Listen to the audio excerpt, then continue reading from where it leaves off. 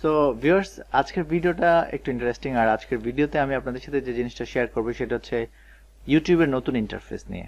তা আপনারা অনেকেই জানেন যে ইউটিউব ইন্টারফেস চেঞ্জ করেছে, আর এখনকার ইন্টারফেসটা আগের ইন্টারফেসটা থেকে অনেক বেশি ইন্টারেস্টিং এবং অনেক বেশি অ্যাট্রাকটিভ তো আপনারা যারা নতুন ইউটিউবার বা যারা এই নতুন ইন্টারফেসটার সাথে একেবারেই পরিচিত না বা খুঁজে পাচ্ছেন না কোন জিনিসগুলো কোথায় আছে আশা করছি এই ভিডিওটা তাদের জন্য অনেক বেশি হেল্পফুল হবে। ফার্স্ট আমরা যে কাজটা করব সেটা হচ্ছে আপনি যদি ইউটিউব ডট কম ভিজিট করেন, তাহলে আপনি ইন্টারফেসটা এরকম দেখবেন, আপনার ভিডিও এখানে দেখাবে এবং আপনি আপলোড আইকন দেখতে পাচ্ছেন এবং গুগলের অন্যান্য যে চ্যানেলগুলো রয়েছে বা ইউটিউব মিউজিক বা ইউটিউবের কিডস যে ক্রিয়েটর একাডেমি যে বিষয়গুলো রয়েছে, সেগুলো কিছু আপনি এখানে দেখতে পাবেন ইউটিউব রিলেটেড বিষয়গুলো। আর বেল আইকন নোটিফিকেশন থাকলে আপনি সেটা এখানে দেখতে পাবেন। এবং আপনি যদি প্রোফাইল আইকনে ক্লিক করেন, তাহলে আপনি এখানে কমপ্লিটলি ডিফারেন্ট ইন্টারফেস দেখবেন। তো ফার্স্ট যেটা বলব সেটা হচ্ছে মাই চ্যানেল আপনি যদি মাই চ্যানেলে ক্লিক করেন, তাহলে আপনার চ্যানেলে কীভাবে দেখাবে? অর্থাৎ আপনার চ্যানেলটা অ্যাজ এ সাবস্ক্রাইবার একজন সাবস্ক্রাইবারের কাছে আপনার চ্যানেলটা কীভাবে দেখায় বা কীভাবে শো করে, আপনি সেটা দেখতে পাবেন। দেন ক্রিয়েটর স্টুডিওতে আপনি ক্লিক করলে মূলত আপনি চলে যাবেন হচ্ছে আপনার ভিডিও ম্যানেজারে এবং সুইচ অ্যাকাউন্টে ক্লিক করলে আপনার যে অন্যান্য চ্যানেলগুলো রয়েছে, আপনি সেগুলো এখানে দেখতে পাবেন। এবং যদি নতুন চ্যানেল ক্রিয়েট করতে চান, তাহলে অ্যাড অ্যাকাউন্টে ক্লিক করলে আপনি নতুন অ্যাকাউন্ট অ্যাড করতে পারবেন, আর সাইন আউটে ক্লিক করলে আপনি সাইন আউট করতে পারবেন। দেন আরও কিছু বিষয় রয়েছে যেগুলো আমি একটু পরে দেখাবো। তো ফার্স্ট আমরা যে কাজটা করব, সেটা হচ্ছে মাই চ্যানেলে যদি আমরা ক্লিক করি, তাহলে আপনার একজন সাবস্ক্রাইবার আপনার চ্যানেলটা কীভাবে দেখে, আপনি সেটা এখানে দেখতে পাচ্ছেন। আর ঠিক আপনি যদি আমার যে ইউআরএল বা যে আমাদের অ্যাড্রেস বার রয়েছে, সেখানে তাকান, তাহলে আপনি এখানে দেখতে পাচ্ছেন question mark view as equal subscriber তো আমি যদি ভিউ অ্যাজ ইকুয়াল সাবস্ক্রাইবারটা রিমুভ করে দিই, তাহলে আপনি আরেকটা ইন্টারেস্টিং জিনিস দেখতে পাবেন। সেটা হচ্ছে আপনার চ্যানেল একজন নন সাবস্ক্রাইবার বা যে আপনার চ্যানেলটা সাবস্ক্রাইব করে নাই, সে কীভাবে দেখছে আপনি সেটা এখানে দেখতে পাচ্ছেন। অর্থাৎ একজন ভিউয়ার্স আপনার চ্যানেল কীভাবে দেখতে পাচ্ছে আর একজন সাবস্ক্রাইবার আপনার চ্যানেল কীভাবে দেখতে পাচ্ছে, এটা কমপ্লিটলি ডিফারেন্ট আমরা জানি যে এটা আমরা চেঞ্জ করতে পারি চাইলে। তো এখানে কোনো অ্যাড সেকশন আই আইকন নাই, যেটা আগের আউটলুকে ছিল। তো আরও বেশ কিছু জিনিস চেঞ্জ হয়েছে। যেমন আমাদের এই প্রোফাইল পিকচারটা এখানে ছিল না। এই প্রোফাইল পিকচারটা আমাদের এখানে ছিল। এই আইকনটা ছিল না। এই কোনা একটা পেন্সিল আইকন ছিল এবং সাবস্ক্রাইবার এভাবে শো করতো না। সাবস্ক্রাইবার এখানে একটা settings icon plus subscribe button একটা রেড বাটন দিয়ে শো করতো।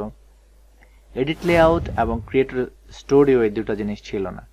তো আপনি যদি আগের ইন্টারফেসটা দেখেন, তাহলে আপনি এখানে দেখতে পাচ্ছেন। প্রোফাইল ইমেজ এখানে কাভার এখানে আইকন এখানে এবং ভিউ অ্যাজ ইউরসেলফ এবং নিউ ভিজিটর এবং রিটার্নিং ভিজিটর তো এগুলো আমরা নতুন যেটাতে যে পাবো না, বিষয়টা সেরকম না, নতুনটাতেও পাবো। তো নতুনটার ভিউটা এরকম, আমার যে সেকশনগুলো রয়েছে সেগুলো এখানে, এবং আপনি যদি কোনো সেকশন অ্যাড করতে চান, আপনাকে যে কাজটা করতে হবে সেটা হচ্ছে ভিডিওস প্লেলিস্ট চ্যানেল সব আগের মতোই রয়েছে এডিট লেআউটে ক্লিক করবেন। এডিট লেআউটে ক্লিক করলে আপনি অনেকটা আগের মতো দেখতে পাবেন। সাবস্ক্রাইবার্স ভিউজ ভিডিও ম্যানেজার সব কিছু এখানে দেখতে পাচ্ছেন। তো এটা হচ্ছে মূলত আপনি লেআউটটা চেঞ্জ করতে চাইলে আপনি এখানে লেআউটটা চেঞ্জ করতে পারবেন। সেটার জন্য মূলত এই ব্যবস্থাটা রাখা হয়েছে। তো সেম আপনি চাইলে লেআউটগুলো চেঞ্জ করতে পারেন for new visitors for returning visitors এবং আমাদের যে সেটিংস আইকন সেটা এখানে, অর্থাৎ এখনকার ভিউটা কমপ্লিটলি আগের মতো। আপনি যদি ঠিক এডিট লেআউটে ক্লিক করেন। তা আমরা এখন যে কাজটা করব সেটা হচ্ছে আমরা আবার ব্যাকে যাই, আমরা নতুন আউটলুকে ফিরে যাই। নতুন আউটলুকে যাওয়ার পর আমরা এখন যে কাজটা করব সেটা হচ্ছে আমরা এখানে আরও বেশ কিছু জিনিস রয়েছে, সেগুলো অর্থাৎ সবচেয়ে ইন্টারেস্টিং যে জিনিসটা সেটা হচ্ছে ডার্ক থিম তা আপনি যদি ডার্ক থিমে ক্লিক করেন এবং এটাকে অন করে দেন, তাহলে আপনার আউটলুকটা কমপ্লিটলি ডার্ক হয়ে যাবে ভিউয়ার্সটা এটাকে এরকম কালারফুল দেখবে। তা আপনার ব্র্যান্ডেড কালার যদি ডার্ক হয় বা ব্ল্যাক হয়, সেক্ষেত্রে আপনি অ্যাকচুয়ালি এটা করে রাখতে পারেন বাট আমার ক্ষেত্রে এটা খুব একটা ইম্পর্টেন্ট না। আমি ঠিক আবার আইকনটাতে ক্লিক করলাম এবং আপনি স্যান্ড ফিডব্যাক আমরা জানি যে ইউটিউবে আমরা ফিডব্যাক করতে পারি। সেটিংস আইকনে ক্লিক করলে আমাদের যে আমাদের চ্যানেলের যে সেটিংস রয়েছে, সেখানে আমাদেরকে নিয়ে যাওয়া হবে।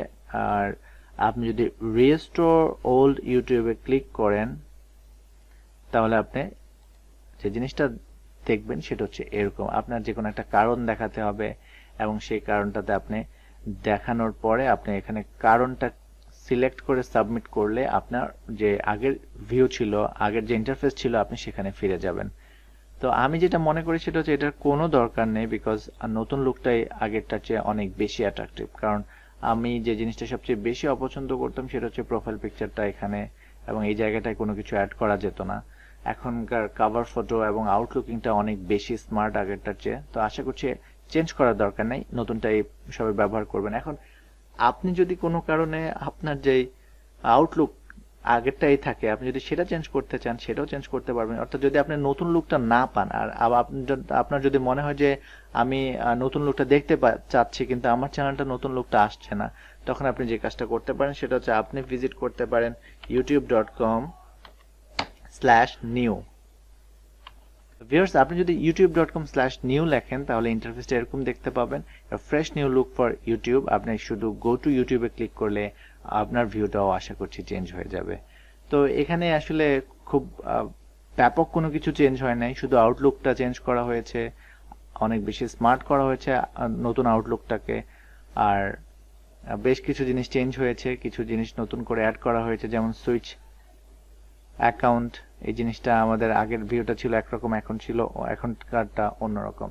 তো এটাই হচ্ছে মূলত যে চেঞ্জ আর আপনি যদি ভিডিও ম্যানেজারে যেতে চান, তাহলে ক্রিয়েটর স্টুডিওতে ক্লিক করলে ভিডিও ম্যানেজারে চলে যাবেন। অর্থাৎ যেখানে আমাদের সবগুলো ভিডিও রয়েছে, আমরা সেখানে চলে যাব ভিডিও ম্যানেজার তো ভিউয়ার্স এটাই হচ্ছে মূলত চেঞ্জ আশা করছি ভিডিওটি আপনাদের ভালো লেগেছে। আমার ভিডিও যদি আপনাদের ভালো লাগে, তাহলে অবশ্যই আমার চ্যানেলটি সাবস্ক্রাইব করবেন।